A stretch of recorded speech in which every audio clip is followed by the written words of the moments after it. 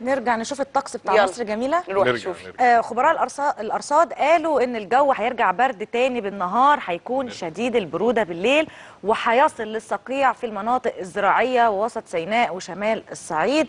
يعني ناخد بالنا نلبس كويس ونعمل حسابنا كده بالليل بجاكيت تقيل أو بالطو. ودلوقتي هنروح لدرجات تعالوا الحرارة عندنا القاهرة 30 لسه حر يعني. 14 اسكندرية حر. 27 14 الإسماعيلية 31 15 بورسعيد 21 17 السويس 30 17 نخش بقى على الغردقة 25 19 شرم الشيخ 25 21 مرسى مطروح 21 16 الأقصر 31 12 أسوان 32 15 إحنا عموما معانا الدكتور أحمد عبد العالي يطمنا أكتر آه، على رئيس هيئة الأرصاد الجوية يطمنا أكتر على حالة الجو يقول لنا أخبار الحالة الجوية إيه. صباح الفل يا دكتور. صباح الفل على حضراتكم صباح الفل على. حضرتك.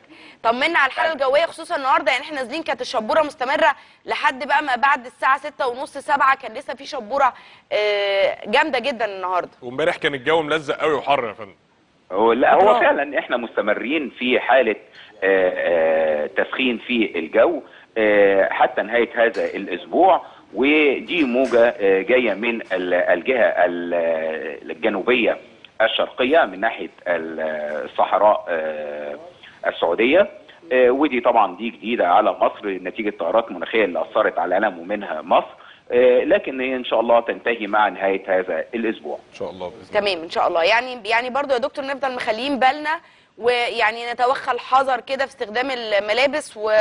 و... وأخبار بقى الأنشطة الملاحية يعني حركة الملاحة والرياح يعني, يعني اسمحي لي بس إن أنا آه، اتفضل. أقول للسادة المشاهدين أرجو عدم تخفيف الملابس إحنا. ما زلنا في فصل الشتاء تمام. ومع الأسبوع القادم هتنخفض درجات الحرارة مم. وهتحس فعلا بهذا انخفاض شديد وده عشان كده بنرجو منهم عدم تخفيف الملابس تمام آه، بالنسبة لحالة البحار فهو معتدلة وصالحه لاعمال الصيد يعني الجو مهيئ لكافة الأنشطة البحرية. لكافة الأنشطة عشان بس الناس اللي ممكن بقى بتسافر على ال weekend ولا حاجة يا دكتور؟ لا لا يؤدي weekend إن شاء الله يكون آه،. إن شاء الله إن شاء الله بإذن الله إن شاء الله. شكرا يا فندم صباحك زي الفل. صباح الفل. صباح الفل على حضرتك. شكرا. في ناس